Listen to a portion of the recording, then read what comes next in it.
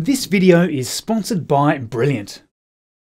Hey, hey, Marcus House with you here. There is so much going on with Starship development right now with Test Tank SN 7.2 pushed to its limits this week.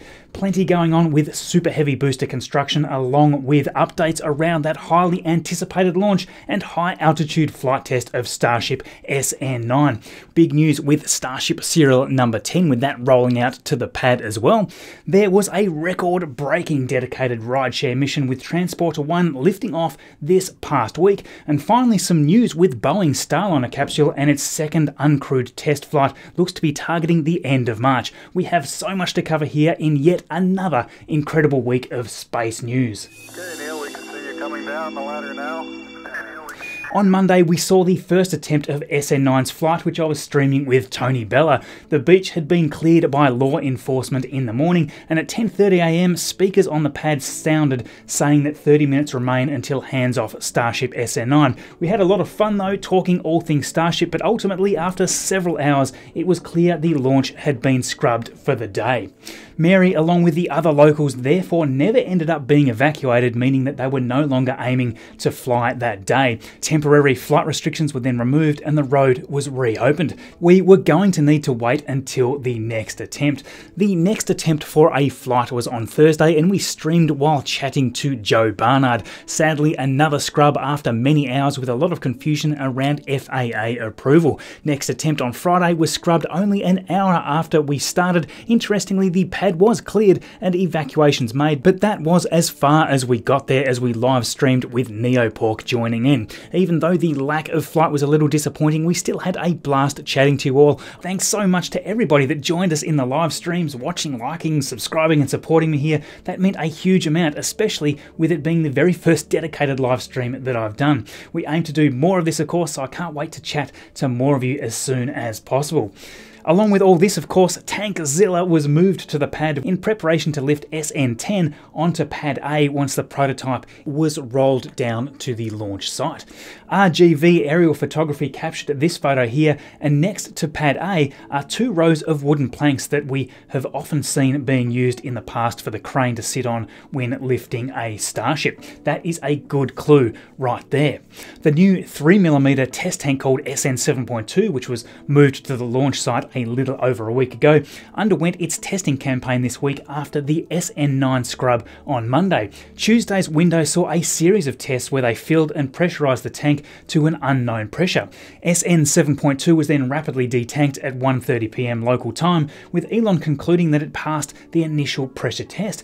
Remember that the previous tanks have a 4mm thickness in the steel rings. This vessel dropped a quarter of that, with this new 3mm steel making this a much lighter setup. If an entire Starship can be built, tested, and flown with this thinner steel, that will make a huge difference to the dry mass of the entire vehicle. Every single kilogram saved in the build of the Starship body itself increases the destination payload by that exact same amount. A very beautiful shot here from above by RGV aerial photography, always so impressive just how he gets these shots each and every week. Thanks Mauricio for all you're doing there. All the Patreon support for him there helps keep those flights going, along with, of course, the subscriptions on his YouTube channel. Just check out these shots as well of Deimos, the recently supported rig here. This is predicted to become a future launch and landing platform for Starship and Super Heavy. To news at the build site, SN15's aft dome was stacked on top of the skirt, and also what is possibly SN16's middle liquid oxygen section was moved out of a tent with a plethora of heat shield studs on the side. Moreover, while we were busy watching the tests at the launch site, SN11's aero covers and forward flaps were installed on the side of the nose cone and was then rolled outside to the low bay ahead of stacking operations. SN11's nose cone barrel section was then moved adjacent to the nose cone here. This section has a collection of nine normal sized thermal protection system tiles attached, as well as two additional smaller ones. These two sections have apparently just been mated in the last 24 hours. We just don't have a shot of that as we were publishing this video. Also, the tank section for this same Starship prototype has been sitting in the mid bay for quite a while and has finally received those two flap attachment jigs. Those jigs are used to align the hinges, actuators, and aero covers and are removed before the actual aft flaps are attached. Furthermore, SN10 received its second aft flap. That completed the vessel, and right after the roads opened back up again on Friday, the process began to roll this next amazing prototype to the launch pad. Here we see it rolling down the road as it takes its place on the second launch stand at the pad. This is a first for SpaceX having multiple prototypes getting ready to fly. Remember, with Starship serial number 9, we had no idea that two of the Raptors had been mounted at all until a few sneaky images appeared after the fact. SN10 we thought could have been fully raptored. Fully raptorized? Raptored to the max? Uh as we saw, however, on the way to the launch pad, there were no Raptors installed on this vessel prior to the move. All three of the Raptors will need to come after a cryo-proof test, which was shared there by Elon Musk. This week saw the scrapping of SN12's aft section, officially meaning that this prototype, along with SN13 and SN14, are all cancelled. SN8's flight was extremely successful and achieved way more objectives than many of us thought possible. Due to that, this first incredible high altitude flight test more than likely messed up a lot of the plans in the production line, as SpaceX would have been expecting it to take three or four prototypes to accomplish what SN8 achieved. After that amazing flight, and with SN9, SN10, and 11 still in progress, pulling a couple of prototypes out of the production line and advancing SN15 was possible. This is the prototype that Elon Musk mentioned will have many major upgrades. A four ring high liquid oxygen stack section was moved into the mid bay with stacking operations continuing with Super Heavy Booster Number One's prototype. From a picture taken by NASA spaceflight, Brendan expertly diagnosed the booster build, spotting that this beast is 16 rings tall. It's made up of three four ring stacks and the forward dome, which is also made up of four rings itself. The common dome that sits between the liquid oxygen and liquid methane sections still hasn't been moved into the high bay, so from this we can conclude that Super Heavy will now have the liquid oxygen tank on top of the booster since the current stack that they have in the high bay is too big to be a methane tank. Now we know the rough methane to oxygen ratio makes the liquid oxygen tank much greater in volume, so this is quite conclusive at this point. Now this may have been the plan for quite some time or it could be a more recent development. It's hard to say. I've held the assumption that the tanks would be ordered in the same way as Starship, which of course has the liquid oxygen on the bottom. Remember, the huge length of the booster would mean a much longer downcomer and wasted mass if the tanks were reversed. As the fuel drains out, having liquid methane at the top would make the vessel a lot heavier further up the rocket. Ideally, of course, you want the mass to be lower down as the booster returns for a landing, no different to the reason why an arrow has most of its mass at the tip. It makes perfect sense to have the larger tank on top. There was also some more big news regarding Super Heavy Booster number 1 with its aft dome being spotted by Mary and Jack from NASA Spaceflight. Thanks to the entire team for such incredible insight into the facilities here. There looks to be spots here for four Raptors which correlates to what Elon said during the Mars Society event last year saying that BN1 will fly with two to four Raptors. SN14's scrapped aft dome was used as a pathfinder for future Super Heavy prototypes that'll include the outer ring of 20 Raptors that that Elon also mentioned in a tweet a while back. There looks to be 20 bigger holes for the liquid oxygen feed lines and another smaller 20 for liquid methane surrounding the outer circumference of the dome there. Brendan created this render here of what this would look like on future super heavy prototypes and here is the latest diagram to show where we are at. Just awesome work there. Thank you to the entire community for helping us figure out where everything goes. Now, I just thought it would be a good chance to talk about Corey's incredible new Starship renders showing the cutaway of the entire vessel, including the fuel tanks here. This just gives a great perspective of it all. The thing I like most about this, if you look closely, is that the header tank looks to be transparent. You can see the liquid oxygen header tank in the nose here feed right down to the Raptor engines. Now, Corey first started 3D modeling in a program called Wings 3D around 13 years or so ago, and these days Blender is his program of choice, which he was first introduced to around a decade ago. He did a lot of great render work over the years, but much more recently he got into the magic of spaceflight.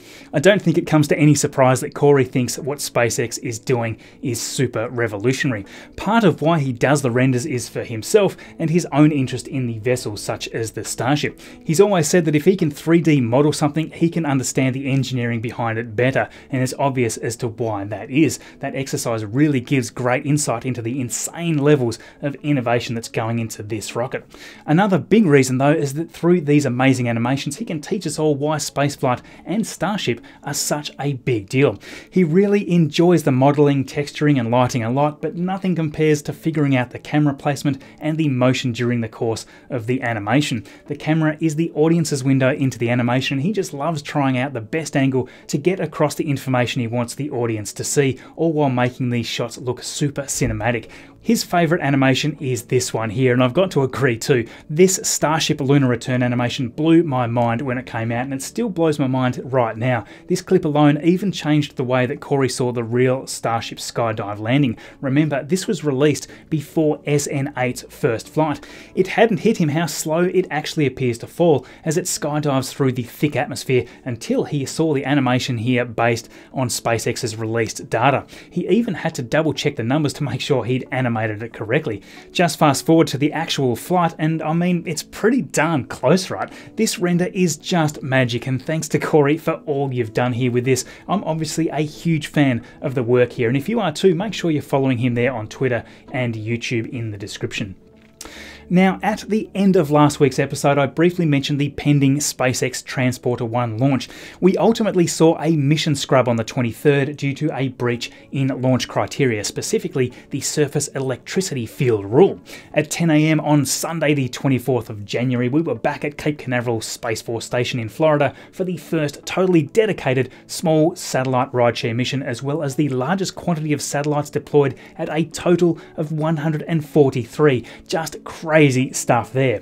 The two new fairing halves for this mission protected a mix of 133 government and commercial small satellites as well as the 10 recently FCC approved Starlink satellites destined for a first ever polar orbit. We also saw confirmation earlier this week that this special batch of 10 internet satellites have got the lasers, as the main recipient for service is intended here to be Alaska with its understandable lack of ground relay stations in the polar region. The lasers will be critical in this case for data relay connectivity. A good testbed case here too as well, considering that we just saw confirmation that all Starlink internet satellites satellites launched from 2022 will have the laser feature as well.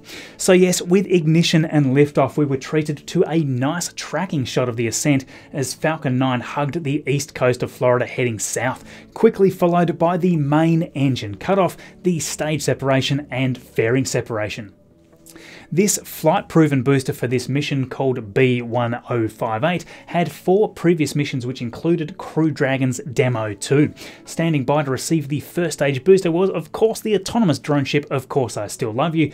This was its first catch for 2021 since undergoing refurbishment and it was also the 73rd successful recovery of a booster. Special thanks as always to Greg Scott for capturing this great shot of the booster's return to port complete with the worm still on it it. Just awesome stuff. If you don't follow Greg, I recommend you check out his excellent work. The link there is also in the description. There was no catch attempt for the fairings this time. Instead, Miss Chief and Miss Tree were on station to hoist them out of the ocean, which saw both halves successfully recovered as we see here. In order to achieve a successful payload orbit insertion, it was necessary to carry out a second engine relight lasting two seconds. At this time, we had another rare glimpse inside the fuel tank as well. The release of all 133 satellites went off without a hitch in a perfectly synchronized series of deployments. Completing the mission, of course, was the 10 Starlink satellites as we see here drifting away to begin servicing remote communities in Alaska. Just an awesome mission. Now, I think one of the more beautiful moments in this mission was learning of the Celestis Memorial flight on board. Hundreds of family members were sending off their loved ones to space for one final journey back to the cosmos. Hitching a ride on this were the small capsules of human ashes arranged by Celestis themselves. Thanks so much to everybody involved in making this incredible mission a success. Now, we have a few updates to talk about with Boeing's Starliner, which dropped this week, which now looks like NASA and Boeing are targeting at the end of March for the launch of Starliner's repeated flight test. We'll talk more about that in a moment, but just before that, a huge thank you today to our sponsor, Brilliant. Without the incredible support here, there is just no way that we could spend the time that we do to put together this regular content for you. The brand, of course, is a great fit as well because many of the course topics available from Brilliant are exactly the kind of things that we like to know more about.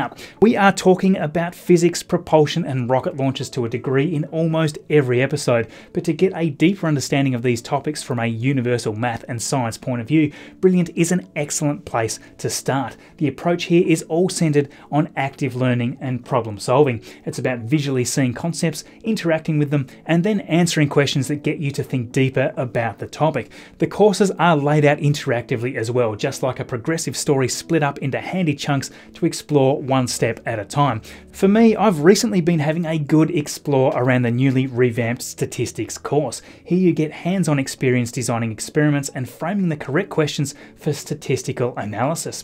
You'll also build up a statistics toolkit to use in a range of powerful tests. If you're naturally curious and you want to build up your knowledge, consider checking out Brilliant. That's not only a great thing for your mind, it's also a wonderful way to support me here. To give it a try, just head to brilliant.org slash Marcus House. The first 200 people to follow the the link, get 20% off the first year of Brilliant Premium. You'll find that link in the description below. So yes, Boeing's Starliner mission will again be an uncrewed flight as we witnessed for the very first test that was played with those earlier problems. That test of course was just simply called Orbital Flight Test. This next mission, dubbed Orbital Flight Test 2, will repeat this mission, hopefully this time of course without the failure that led to the vessel to abort its objective to dock with the International Space Station and was essentially returned to Earth much earlier than planned. The NET date for this launch attempt is currently set to around March 25th, so in a little under two months we should hopefully be seeing Starliner complete this flight test. It will also of course be launching on top of United Launch Alliance's Atlas V with the dedicated configuration set for the CST-100 Starliner vessel. This is the N22 configuration with no fairing. It flies with two solid rocket boosters and two Centaur upper stage engines. So that N22 tells us those critical aspects of the launch configuration very simply. So yes, there have been quite extensive examinations of the flight software on the spacecraft, which has been quite a lengthy process. Boeing announced earlier this month they've completed the formal requalification of the software, which includes reviews of the software and the testing procedures that go along with its development. I suspect the last 12 months have been very tough for the team at Boeing, who really needed to own up to those initial mistakes made in the processes. The timer issue really was the most critical failure of that mission, with it being off by 11 hours, making the vehicle believe that it was further along in the mission timeline than it actually was after it was separated from the booster. Due to that, the vehicle used up a bunch of fuel for its engines with unnecessary orbital adjustments. There were a lot more problems to address as well, of course, and the full link to that is in the description if you want to read up on that a little more. Boeing certainly is not finished yet with the testing, much more is to come alongside United Launch Alliance to ensure that the vessel correctly works with the Atlas V systems. A big thank you today to my amazing patrons and YouTube members. There is no way that we can continue creating content at this frequency and length without you. The support that you're all here providing helps us to increase the time that we can spend, and it's all thanks to the growing list of supporters that we see right here. Thank you to each and every one of you. As support increases, that helps the entire team. So if you like what we're doing and you'd like to join our awesome patrons, head to patreon.com slash marcushouse, or alternatively, you can join up as a YouTube member now as well. That gives you access to interact with me more directly via the linked roles on our Discord server. You can have your name listed right here, like all of these other amazing people, and you also get earlier access to the videos to watch before anyone else. A massive thank you as well, especially the production crew assisting greatly with this video production, and of course to the quality control squad here helping me research and proof the material for these videos, helping with all of the live stream stuff. If you're interested in these topics and you'd like to be a part of this, follow me on Twitter and please do get in touch. In the tile in the bottom left today, we have my video last week talking about all things SpaceX. We have Virgin Orbit's LauncherOne Demo 2 mission to orbit, Rocket Lab's latest launch, and the SLS Hot Fire. In the top right is my latest video, and in the bottom right, content that YouTube has selected from my channel just for you. Thank you everyone for watching, and we'll see you all in the next video.